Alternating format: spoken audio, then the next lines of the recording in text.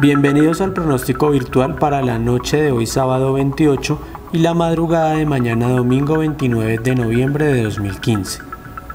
Como lo pueden apreciar en nuestras últimas imágenes de satélite, en las horas de la mañana se han dado condiciones de cielo mayormente nublado.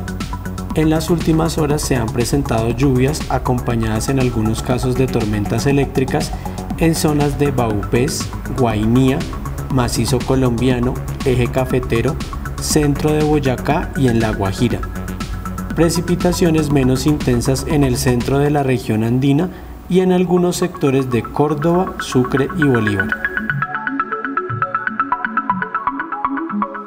El pronóstico para la ciudad de Bogotá y para la sabana nos indica que en el transcurso de la noche y de la madrugada hay probabilidad de que se presenten precipitaciones en el oriente de la ciudad y lluvias un poco más intensas en el norte y occidente de la sabana. A nivel nacional tendremos las siguientes condiciones.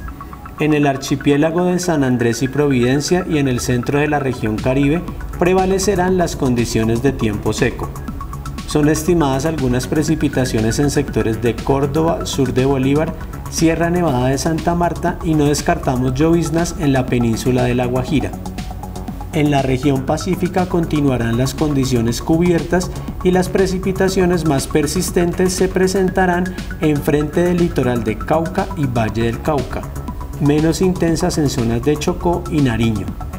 En la región andina se estiman lluvias en zonas de Antioquia, sur de Santander y centro de Boyacá. Precipitaciones de menor intensidad en norte de Santander, Cundinamarca, eje cafetero y en el macizo colombiano. Para la Orinoquía se presentarán lluvias en el oriente de Vichada y probabilidad de precipitaciones ligeras a lo largo del piedemonte de la cordillera oriental.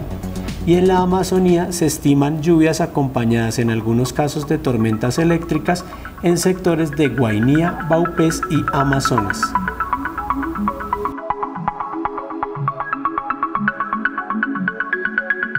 Las alertas más importantes para tener en cuenta el día de hoy son las siguientes.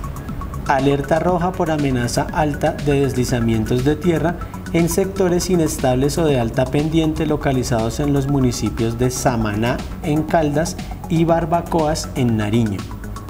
Alerta naranja por amenaza moderada de deslizamientos de tierra en algunos sectores inestables o de alta pendiente localizados en sectores de la región Caribe, Pacífica y Orinoquía y alerta naranja por amenaza moderada de incendios de la cobertura vegetal en algunas zonas de la región Caribe y Orinoquía.